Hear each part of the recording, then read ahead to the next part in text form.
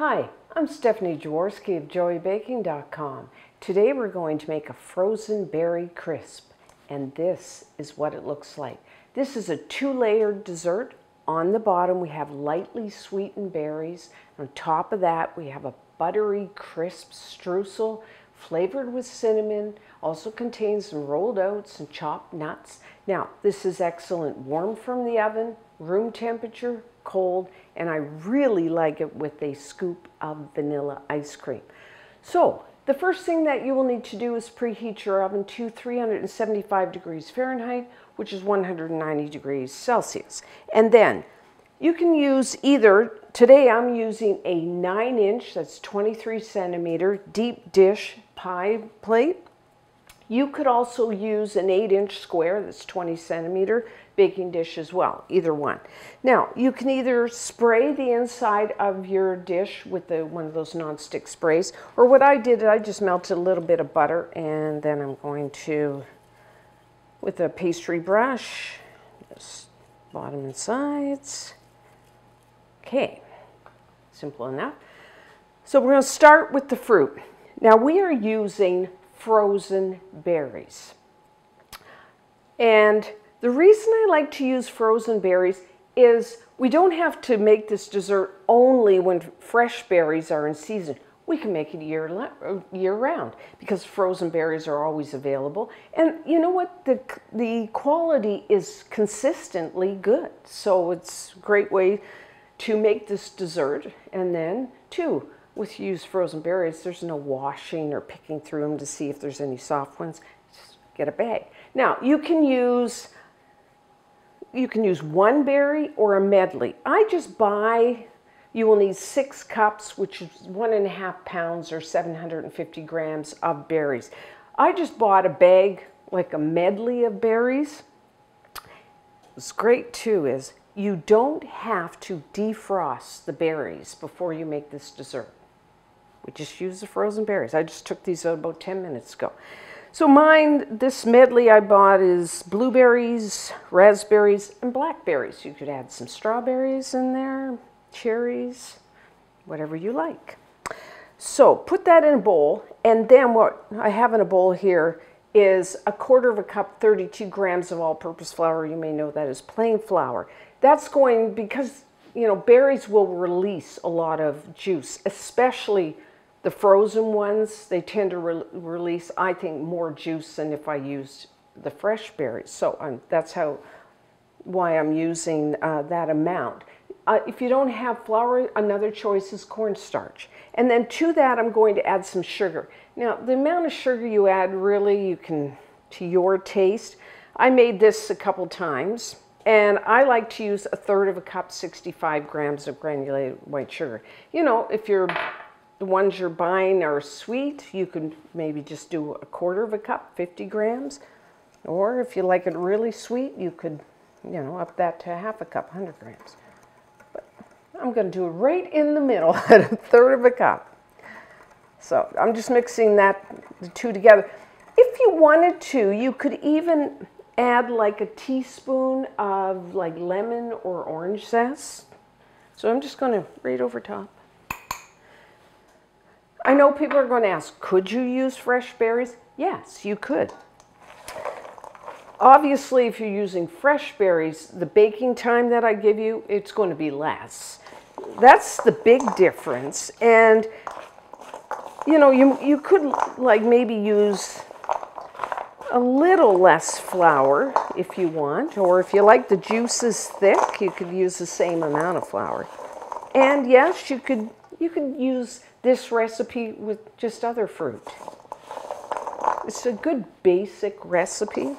So just kind of mix this to get the berries all covered with that as well as you can. They're frozen, so, you know, and then we're just going to dump them in.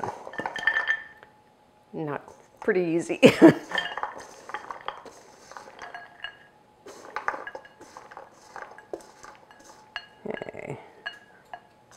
get on, and you're going to have, which I have, you know, some of the mixture, the flour and sugar. Here, I'm just going to even that out first. And then I'll just sprinkle the, the remaining flour and sugar over top.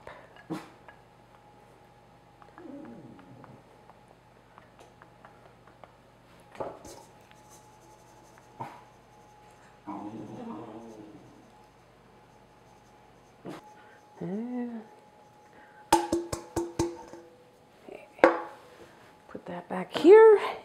So that's our berries. Pretty simple. Now we will do the topping. I'm going to do it by hand. If you wanted to, you could use, you could do this in your food processor. So in a bowl, I have a half a cup, 65 grams of all-purpose flour, plain flour. To that, a quarter of a quarter of a cup, 50 grams of granulated white sugar, and a quarter of a cup, 50 grams of light brown sugar. If you're using a measuring cup, you know, with brown sugar, just pat that down. so soft. And I, like I said at the beginning, I like a little bit of ground cinnamon, a half a teaspoon. If you don't want a cinnamon flavor, you can just leave that out. Or if you want another spice, you could add that. And then just an eighth of a, a pinch, an eighth of a teaspoon of salt. And I'll just whisk that together.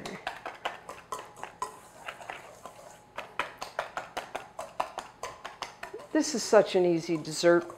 You know, if you kind of like a pie, fruit pie, this is a good alternative. A lot easier. You don't have to worry about making pastry and rolling it out. And it's really good. So now I'm going to add a half a cup, 113 grams of cold butter. I like to use unsalted because I like the flavor and that way I can control the amount of salt in my recipe, but you know, if you have a favorite salted butter, go ahead and use that. And I did cut it into cubes because we are going to cut the butter into the flour mixture until we have coarse crumbs. So if you cut it up, it's better than having like a block of butter. Like I said, you could do this in your food processor. You just want to process the butter into the flour mixture until you have coarse crumbs. So just be careful, watch it.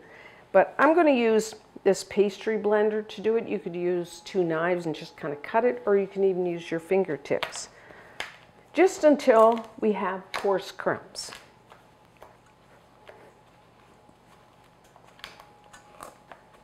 Okay, so we are done. Got a little exercise with our arm there. Now, if you were doing this in your food processor, I would then now transfer it to a bowl because you want to stir in the rolled oats and the chopped nuts because we don't want them to be processed. So we have coarse crumbs.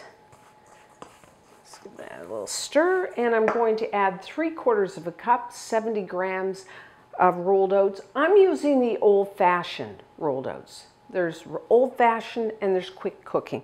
Really, the difference is, is in the thickness of the oats. So I like a thicker texture, so I'm using the old-fashioned. If you, you, all you have in the house is quick cooking, that's fine. You can use those as well. Just dump that right in there. And then a half a cup, 50 grams of chopped nuts. I'm using pecans today. Buying local. We grow them here in Georgia, so that's what I'm using. You could use walnuts, you could use almonds, hazelnuts, or if you don't like nuts, you can just leave them out totally. And just stir that together. And we are done. You know, this is dessert. What you could do is make your this topping and even freeze this and have this in your freezer and you could have your a bag of frozen berries in the freezer. And then when you want to make this you just pull out both from the freezer put it together and pop it in the oven. And you will have a great dessert under an hour. So now I'm just going to evenly as even as I can sprinkle this over the top. Now you will notice I did put my um, baking dish on a larger on a sheet pan on a baking sheet here. My pan on baking sheet now. Um, I do that one, it's a little easier to transport it into the uh, oven. And two, just in case the fruit bubbles up and kind of bubbles over, it will go on the sheet pan, not in the bottom of my oven. Because who likes to have to uh, clean their oven? Not me. I like lots of topping. I won't lie. So just kind of evenly, okay. Make sure all the fruit's covered. Oh. Okay. So now, baking. I'm going to say, because the berries are frozen, it's going to take longer than if you had used fresh. It's going to take, I would say, between 50 and 60 minutes. The time is just one thing. What you really want to look for is the, the top will turn a, a golden brown. And more, more importantly, around the edges that you will start to see the fruit bubbling. That's the sign, you know, if you're making a pie or a crisp, that's how you know when it starts to bubble around the edges, you know it's done. So I'm going to say 50 to 60 minutes. You know, rotate your baking sheet front to back about halfway through to get a nice even bake.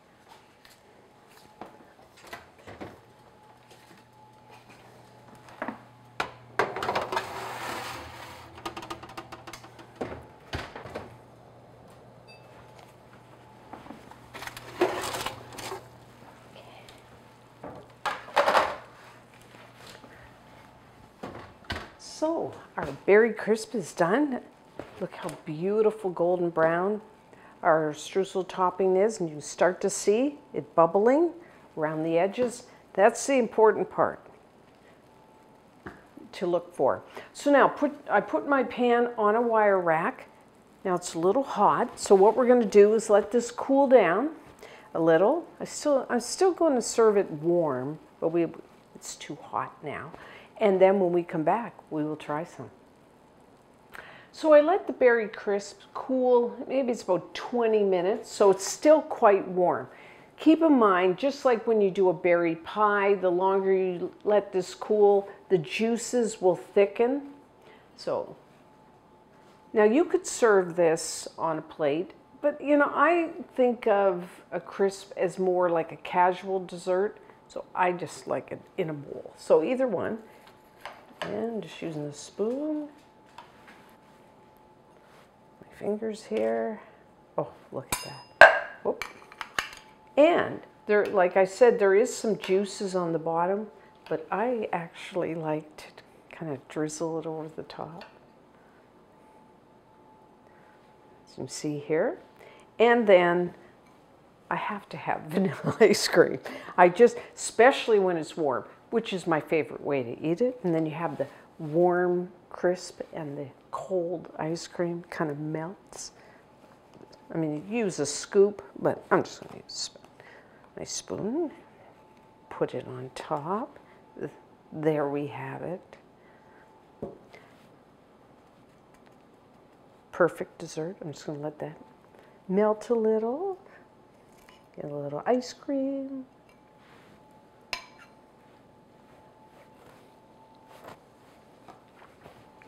Oh. Oh, it's wonderful. You have the juicy, sweet fruit, and then you have that crisp, you know, it is crisp, actually, uh, especially freshly baked, and then this, a little bit of cinnamon flavor, and then you have the rolled oats, the flavor of that and the crunch of the nuts. And then, of course, you have that cold ice cream on top. It really, let me just, I'll just try it one more time to make sure it's, oh. Now you can, like I said, it's just really good. Um, you can make this year round, but I don't know about you, but I especially like any type of crisp in the winter months. And I like it warm, although, like I said, you can serve it room temperature, or I do store it in the fridge so you can have it cold from the fridge. Normally, though, I'll just say how I like it. I like it warm. So even if I have it in the fridge, I just put on a plate or in a bowl, just pop it in the microwave, just warm it up a little bit. Whipped cream is also very good on this. Or if you want to go more healthy, uh, like a dollop of yogurt, plain yogurt. And you can cover and store that this about, I would say two, three days. It's really good. Try it, you know, one berry, a medley of berries. You could even pop in some berries with maybe some peaches or other types of fruit. So try it. You must try it. And until next time, I'm Stephanie Jaworski of joyofbaking.com.